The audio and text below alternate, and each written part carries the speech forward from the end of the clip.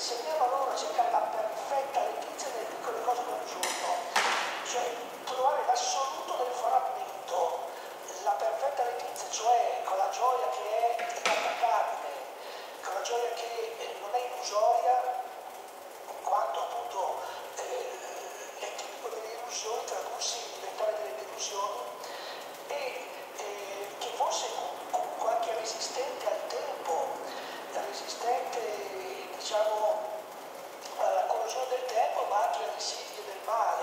Questa perfetta letizia eh, rimane sempre